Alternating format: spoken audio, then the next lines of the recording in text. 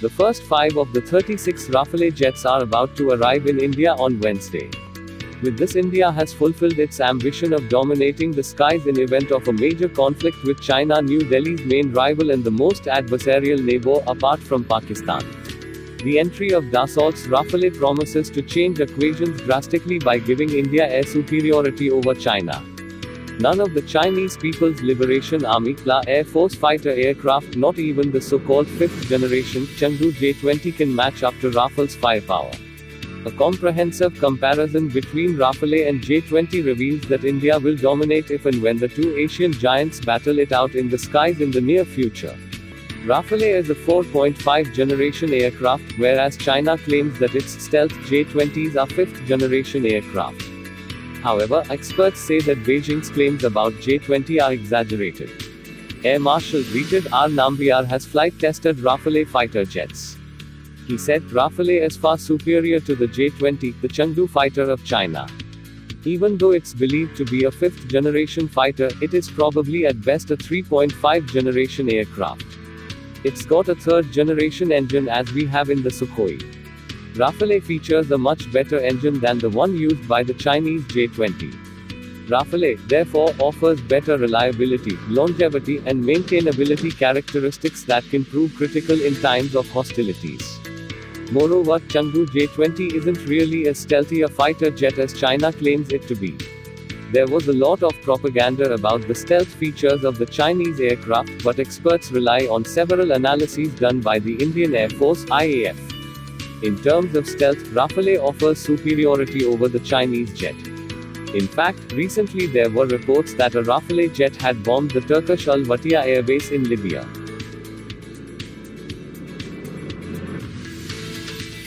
The air raid must have been carried out by either Egypt or France because only these two countries have Rafale fighters.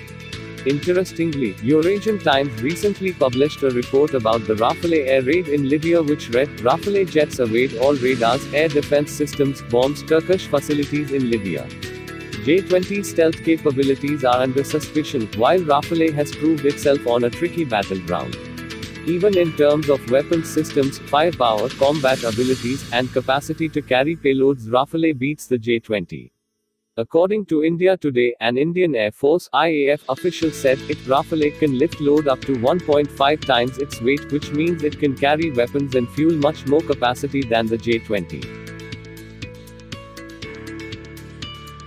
Moreover, Rafale packs a punch with the Meteor missile that makes it far more lethal than the J-20.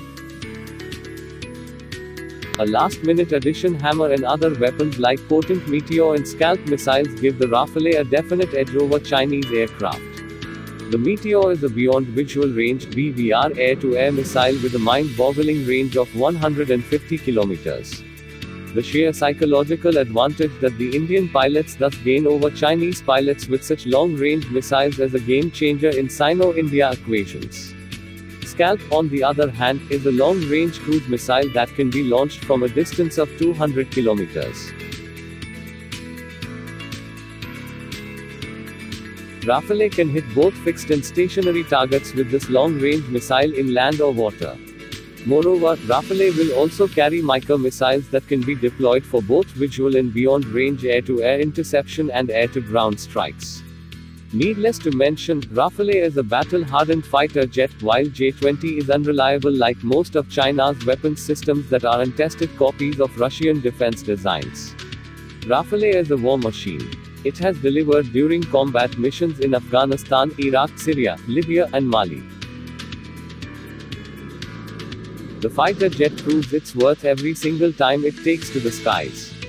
Moreover, the Rafale aircraft that India will receive will come with unique modifications including the ability to take off from high altitudes like Leh. So, the next time there is an eastern Ladakh standoff-like situation, India will have the enhanced ability to overpower the PLA Air Force. Experts also question why Beijing went for the Russian Su-35 when the Chinese state media claims that J-20 is the best.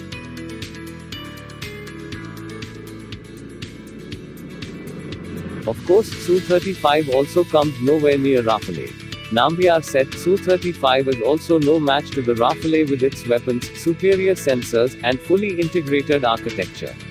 The capability to supercruise even with four missiles, stealth characteristics all put together make the Rafale far more potent than Su-35. The IAF is therefore going to gain a long-term edge over the PLA Air Force. Amidst Sino-India military tensions, the Rafale delivery has thus turned the heat on China. Thank you for watching, please subscribe.